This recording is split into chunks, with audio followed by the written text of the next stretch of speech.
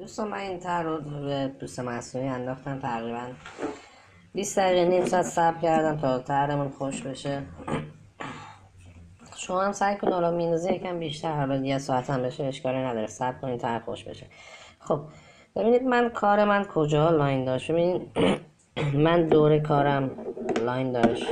این خطوط line داشت و دور اون دم اون ماهی.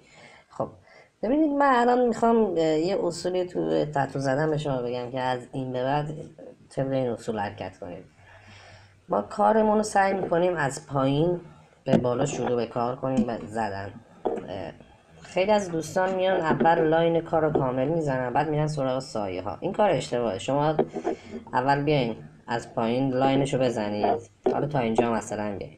بعد بیاین سایه هاشو بزنید که بیاین بالا. حالا دلیلش چیه؟ ببینید من زمانی که این طرح رو تا این بالا میام line می‌زنم و بعد می‌خوام برم سراغ سایه ها طرح من یعنی بدنی که پوست خورده تقریبا متورم شده کنار خطوط. وقتی بخوام حالا مثلا خطوط رو fade کنم یا سایه رو از کنار خطوط شروع کنم اون قسمت دیگه حساس شده. مثلا نیم ساعت یک ساعت از زمان line زدن من گذشته تا به اونجا برسم دیگه. بعد درد خیلی شدیدی احساس می‌کنه. خطوط من یکم ورم داره و کامل نمی‌تونین درست fade کنین خطایی خطایی که باید باشه رو. من تو جلسات قبلی در مورد fade کردن خطوط به شما گفتم. ما نهایتا اینجا اگر الان سوزن می‌خوره باید بذاریم ده دقیقه بعد سوزن بخوره. یعنی نهایتا time ی که می‌تونیم سوزن زدن رو تکرار کنیم الان زدیم تا ده دقیقه بعد. نه اینکه الان ما این خطا رو بندازیم بعد تا یک ساعت دو ساعت بعد دوباره بیایم سراغش دوباره سوزن بخوره. بعد حالا اون مشتری بنده خدا تحملش میاد پایین و نمی‌تونه از این ورم خطوطمون چون التهاب داره نمی‌تونیم اون خطوط رو دقیق و درست فید کنیم. پس بهتر ما حالا خطوط رو اول می‌زنیم اشکال نداره. میایم این مقدار خطوط رو می‌زنیم خطاشو. و بعد میایم سایه هاشو دوباره این طرف میریم. خطا رو می‌زنیم و سایه ها رو. خب.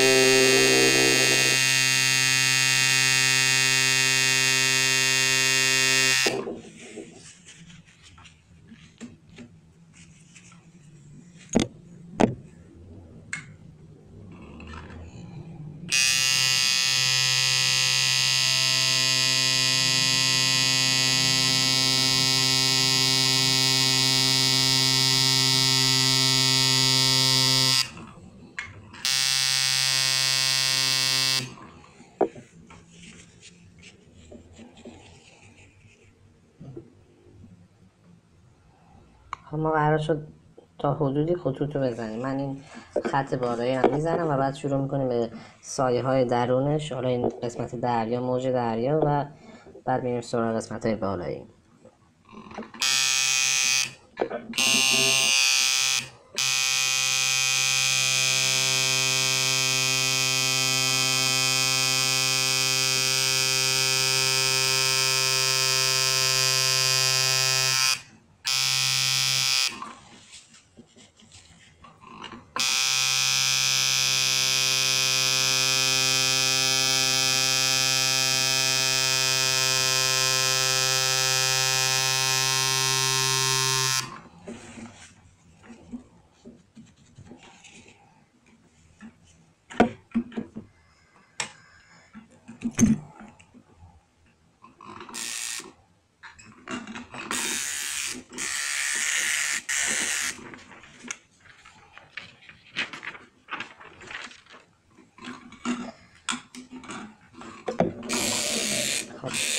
من کارو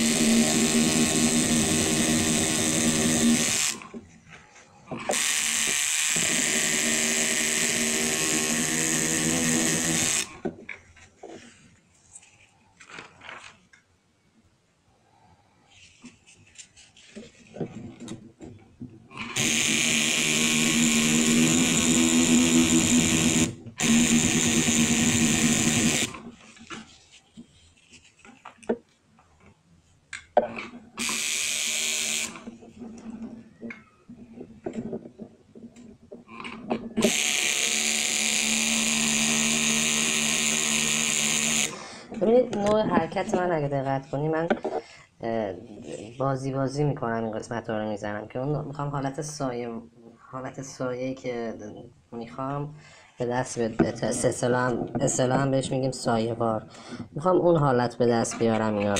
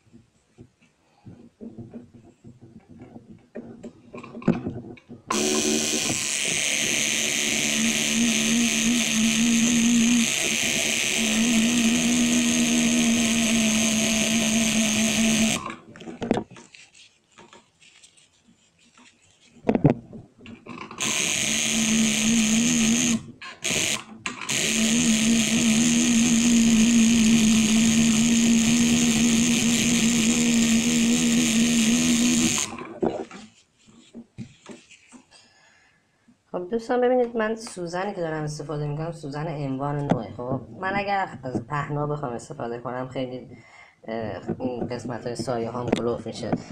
اومدم از گوشه کار دارم استفاده می‌کنم گوشه سوزنم. شما هم سعی کنید حالا نسبت به سایز سوزنتون ببینید که از کدوم قسمت استفاده کنین بهتره.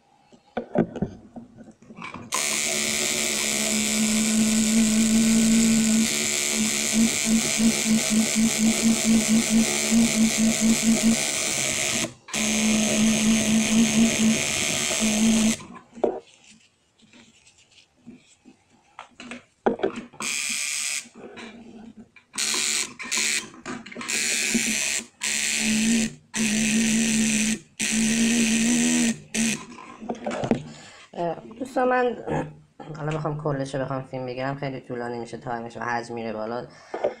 میام یه قسمتی از line اینو می‌زنم و این قسمت ها رو برای شما حالا می‌زنم. یا اصلا بدون line می‌زنم شما نوع زدن منو ببینید خیلی تاثیر داره. ببینید ما توناژمون از قدیم از اول جایی که سایه رو شروع کردم گفتم که باید توناژ ها رعایت بشه. ما این کارمون این قسمت های بالای دمش تیره میاد کم کم به صورت نرم میاد پایین. خب حالا من اینو می‌زنم. ببینید.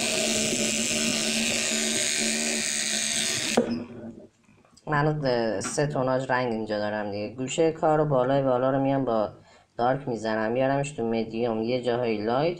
باز دوباره پایین کار قسمت چسبیده به این خطوط دوباره دارک. یا از پایین شروع می‌کنم میرم بالا.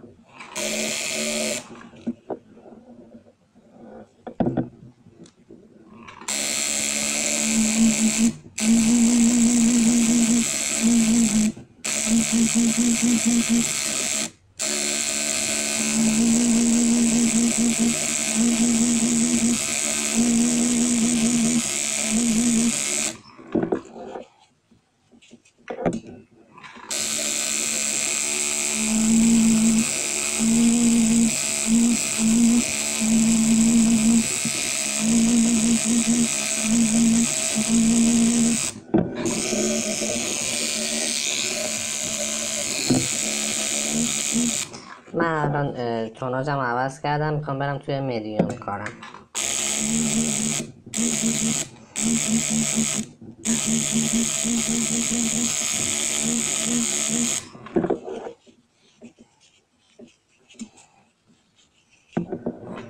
حالا یه مقداری لایتش می‌زنم.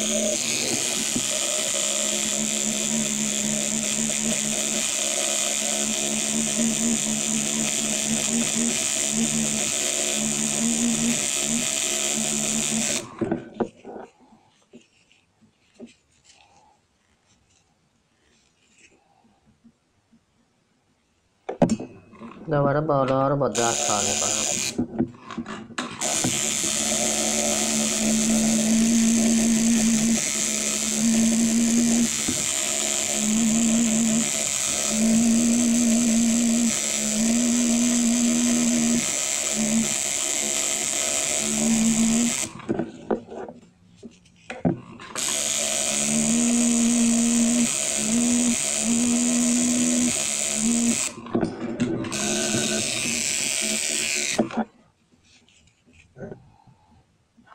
از دارک الان بخواد وصل بشه به اون لایته یکم پله میشه و سایامو خوب در نمیاد چیکار می‌کنیم؟ میایم یکم مدیوم هم میاریم. مدیوم از لبه های جایی که دارک داریم میاریمش توی لایتمون.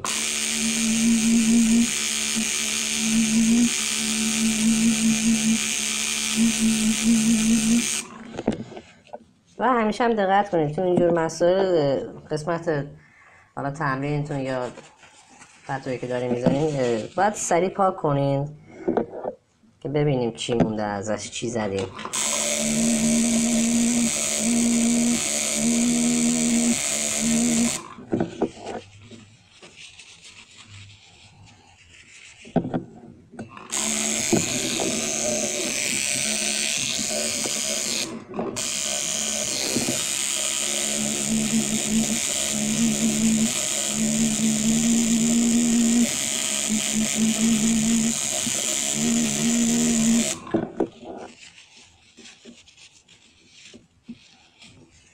ببینید تقریبا اون حالت رو داره می‌گیره. حالا باید یه جای دیگه بیشتر کار بشه. ما این قسمت گوشه ها رو باید بیشتر دار کار کنیم. خط کلوفتر بشه. بالا جایی که دارک داره دوباره بیشتر کلوفتر بشه. این پایین ها همینجوری لایت باید بمونه. یعنی اگر بیشتر کار کنیم این قسمت های وسط رو ترمون دیگه اون جذابیت خاص خودش رو از دست میده. پس این قسمت رو ما کاری نداریم. یه سری خطوط هم اینجا داریم می‌زنیم اینا رو